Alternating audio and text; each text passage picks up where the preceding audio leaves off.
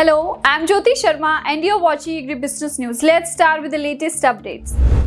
Best Agro Life Limited announced that it has received a patent valid for 20 years for its first of its kind of three-way insecticidal combination in India that will effectively control the entire sucking pest complex including whitefly, Jassids, aphids and thripids together in various crops in just one spray alone. Best Agro Life Limited MD Mr. Vimal Alawadhi said, We are expecting a minimum sale volume of 1500 KL worth rupees 410 crore of this novel combination in FY 2022 to FY 2023. With its wonderful control on the entire sucking pest complex in one spray alone, we have decided to introduce it in pan India on multiple crops with a focus on the north, south and west regions.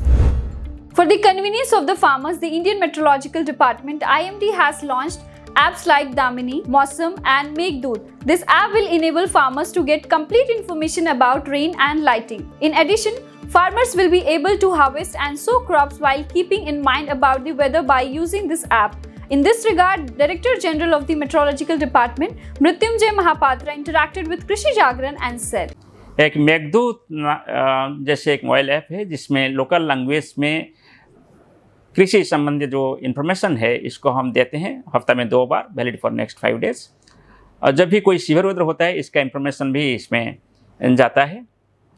इसको आप download करिए। यह iOS और Android platform में उपलब्ध है। आप इसको डाउनलोड कर सकते हैं और मौसम विवरण को आप देख सकते हैं और इसको यूज़ करके आपका जो लॉसेस हो रहा है, इसको मिनिमाइज कर सकते हैं। और आपका जो एग्रीकल्चर प्रोसेस है, इसको भी आप इम्प्रूव कर सकते हैं, जैसे कि आपका फाइनल आउटपुट बढ़ सकता है। और इसके साथ साथ जो हमारा दूसरा मोबाइल ऐप है, वो है मौसम और दामिनी। दामिनी में आपको लाइटनिंग का विवरण मिलता है, क्योंकि बहुत सारे फार्मर्स फ़ील्ड में रहते हैं और स्पेशली जो मौसम का सीज़न होता है जुलाई, अगस्त स्पेशली, इसमें बहुत सारे लाइटनिंग होता है। और लाइट हमारा जो स्टडी है, इसमें पता चला है कि बहुत सारे कृषक भाइयों का कि जान माल का नुकसान हो रहा है लाइटनिंग वजह से।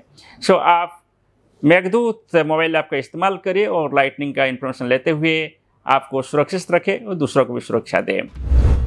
Inotera transforming rural India foundation and Barefoot College International announced a strategic partnership to support smallholder farmers in Indian state of Uttar Pradesh. Through the development of the integrated rural value chain through an innovative system change approach, speaking about the development, Megan Fallon, Chief Impact Officer Innoterra says, this partnership is a significant achievement that brings together three strong organizations that complement each other. Innoterra will deploy the smallholder focused B2B platform to first-time women dairy farmers. We also bring our expertise in banana farming and post-harvest management to catalyze large-scale clusters for fruits in this state.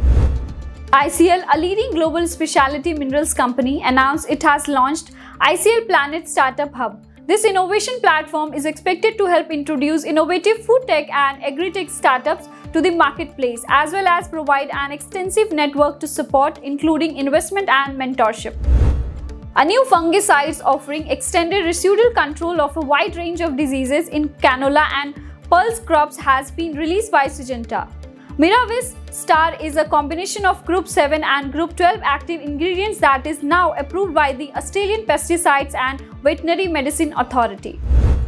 Pune-based boutique consultancy firm DCF Ventures, a wholly owned subsidiary of Germany headquartered AP Global, is launching the country's largest agri collective in alliance with private firms AgroOne, Agrotech and Otis Agro under an initiative called Lighthouse Accelerator Program will provide startup access to retail outlets and corporates. Maximum women enroll for agriculture education in universities of Kerala. When compared to other states in the country, the share of women registering for agriculture education including agriculture, horticulture, animal husbandry, agri-technology, dairying and fisheries courses in Indian farm universities has remained over 43% in the last 5 years. Rating agency ICRA said that China's suspension of fertilizer exports is expected to put upward pressure on international prices amid already limited supplies. In a recent development, several Chinese fertilizers players have been directed by the Chinese government to suspend fertilizers export to meet the robust domestic demand amid rising domestic prices driven by limited supplies and rising energy costs. For more agri updates, keep watching Krishi Jagran. Thank you.